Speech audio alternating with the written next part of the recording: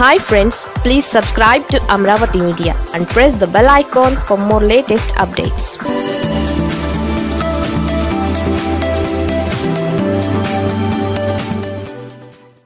హైకోర్టుకు నిమ్మగడ్డపై నమ్మకం లేదా? స్థానిక సంస్థల ఎన్నికల నిర్వహణకు సంబంధించి రాష్ట్ర హైకోర్టు వైఖరి చాలా విచిత్రంగా ఉంది. ఎన్నికల్లో దౌర్జన్యాలు బెదిరింపులతో పంచాయతీ ఎన్నికలను అధికార వైసీపీ మద్దతుదారులను గెలుచుకుంటోందని హైకోర్టులో కేసు వేశారు. ఈ కేసును విచారించిన హైకోర్టు స్టేట్ ఎలక్షన్ కమిషనర్కు కొన్ని ఆసక్తికరమైన ఆదేశాలను జారీ చేసింది. అదేమిటయ్యా అంటే ఎన్నికలను నిష్పాక్షికంగా నిర్వహించాలన్నది. ఎన్నికల ప్రక్రియలో బెదిరింపులు భయాందోళనలకు ఆస్కారం ఉండకూడదని ఆదేశించింది. అయితే ఇక్కడ గమనించాల్సిన విషయం ఏంటంటే నాలుగు దశల్లో పంచాయతీ ఎన్నికలు జరుగుతున్నాయి. మొదటి దశ ఎన్నికలు పూర్తయ్యాయి. రెండవ దశ ఎన్నికల పోలింగ్ జరుగుతోంది. మొదటి దశ ఎన్నికలు ప్రశాంతంగా జరిగాయని స్వయంగా నిమ్మగడ్డే ప్రకటించారు. ఎక్కడో చెదురుమదురు గొడవలు తప్ప ఓవరాల్గా ఎన్నికల నిర్వహణ చాలా బాగుందని చీఫ్ సెక్రటరీ డీజీపీలను కమిషనరే అభినందించారు.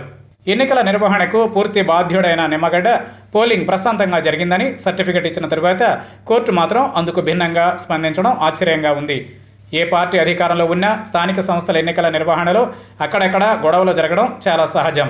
పిటిషనర్ల వాదన ఎలాగుందంటే జగన్మోహన్ రెడ్డి అధికారంలోకి వచ్చిన తర్వాత మాత్రమే స్థానిక సంస్థల ఎన్నికల నిర్వహణలో గొడవలు జరుగుతున్నట్లు ఆరోపించడమే విడ్డూరంగా ఉంది. చిత్తూరు గుంటూరు జిల్లాల్లో మొదటి దశ ఎన్నికల్లో ఏకగ్రీవాలైన పంచాయతీల విషయంలో నిమ్మగడ్డ ఫలితాలను నిలిపివేశారు. ఏకగ్రీవాలు జరిగిన తీరుపై సమగ్ర రిపోర్టు పంపమని కలెక్టర్లను ఆదేశించారు. వాళ్ళు విచారణ జరిపి ఎటువంటి అక్రమాలు జరగలేదని రిపోర్ట్ ఇచ్చారు. దాంతో ఏకగ్రీవాలను నిమ్మగడ్డ ఓకే చేసి ప్రకటింపజేశారు వీటన్నింటినీ నిమ్మగడ్డ చాలా క్లోజ్గా వాచ్ చేస్తున్న విషయం అందరికీ తెలిసిందే. మరి నిమ్మగడ్డ ఇంత క్లోజ్గా గమనిస్తున్న కోర్టు మాత్రం మీ అధికారాలను వాడండి. ఎన్నికలు ప్రశాంతంగా జరిగేటట్లు చూడండి అని ఆదేశాలు ఇవ్వడమే ఆశ్చర్యంగా ఉంది.